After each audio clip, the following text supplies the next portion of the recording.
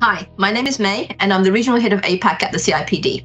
One of the key findings in our People Profession Survey report for APAC were mixed views from people professionals on the impact of hybrid working on people management. Australian practitioners were most likely to say it's impacted positively, making people objectives easier to deliver. In comparison, Singapore respondents commonly said it's made HR delivery more difficult.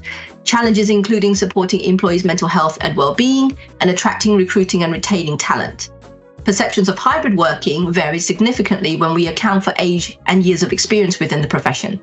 Younger people professionals aged 18 to 34 were more likely to perceive people management easier to deliver in a hybrid context.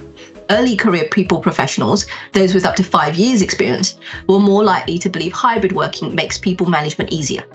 So the call to action. Hybrid, flexible and new ways of working are here to stay and will have implications for people and business strategies. Understanding how it impacts people management will be critical for people teams and people managers. Another key finding in our People Profession Survey report for APAC engaging with the workforce is a unanimous priority area across all APAC countries. Additionally, respondents from Australia, Malaysia, and Singapore are focusing on developing and building skills as a top priority, significantly more than the global sample. For many of our APAC respondents, a cultural reset is needed to focus on employee experience, engagement, and culture in a post pandemic workplace.